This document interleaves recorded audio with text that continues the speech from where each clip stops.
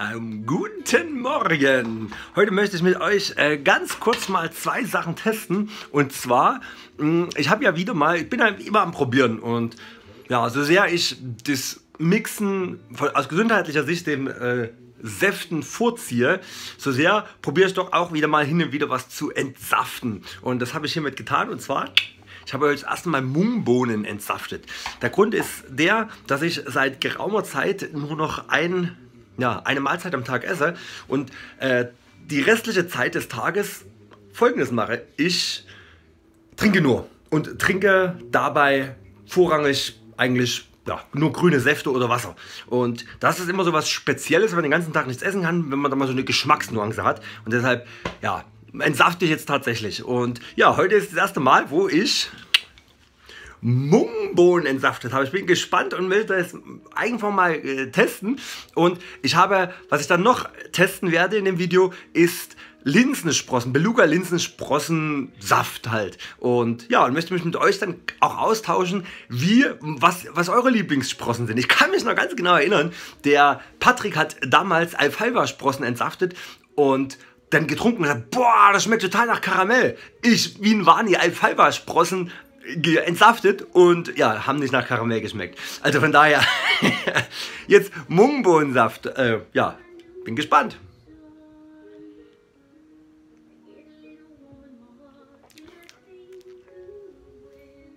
Schmeckt auch nicht nach Karamell. naja, ist recht bitter. Und wie ein Protein-Dings, so ganz milchig ist das. Ähm, aber es geht, sag ich mal.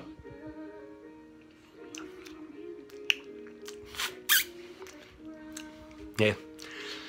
Nee, nee, nee. Übrigens, mh, mm, ich habe jetzt ja angefangen, seht ihr das? Mal Hafergras zu ziehen also sieht man noch nicht so viel. Und Einkorngras. was ich halt auch entsaften will, und das werde ich auch mal bei Gelegenheit testen. Aber was in das Video kommt, ist auf jeden Fall noch die Linsensprossen. Linsensprossen testen. Und da hoffe ich mir eigentlich, dass sie ganz gut schmeck äh, schmecken, weil ich liebe Linsen und Linsensprossen und das muss gut schmecken. Mungbohnen, ja, nehme ich halt einfach immer so mit, weil sie relativ hohes, äh, hohes an, hohen Anteil an Aminosäure haben. Aber, na, mal sehen. So, äh, zweiter Teil. Aus einer riesen Schüssel voll Linsensprossen ist das hier entstanden aus einer riesen Schüssel von Linsensprossen. Also das ist natürlich schon echt, echt wenig. Naja, auf jeden Fall ähm, sind das Linsensprossen. Das sieht von der Farbe her wahrscheinlich genauso aus, würde ich sagen. So leicht milchig, so ein bisschen, ja, wahrscheinlich so malzig. Und ja, koste ich mal. Linsensprossen.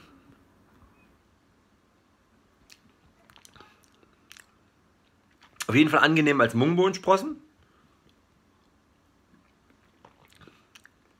Hm?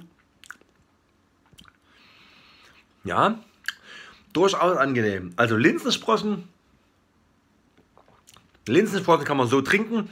Ist auch sehr intensiv, aber um Längen besser als Mungbohnensprossen. Also Mungbohnensprossen ist echt harte Kost. Das hier ist auf jeden Fall schon viel, viel besser.